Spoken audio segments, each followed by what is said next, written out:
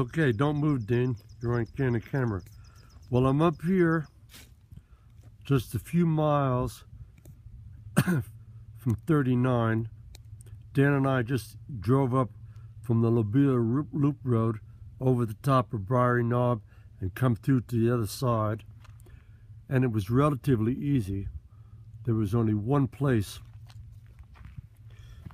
where we had to straddle a couple of big boulders because everything was washed out and now we're here. And it's just spectacular.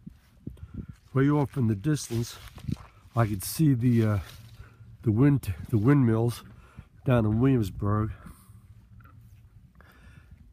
And over that ridge down in there would be Jacox so we just come over Briary Knob and this beautiful wild meadow in here.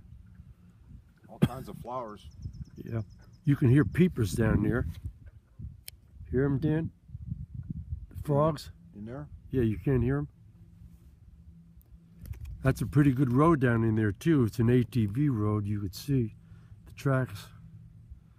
Awfully beautiful.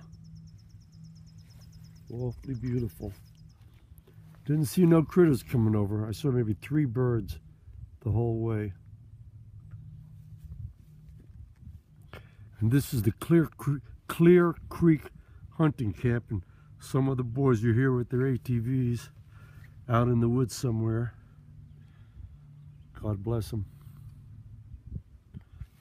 And some clover. Anyway, we were about 4,300 feet and it was just beautiful. Just beautiful.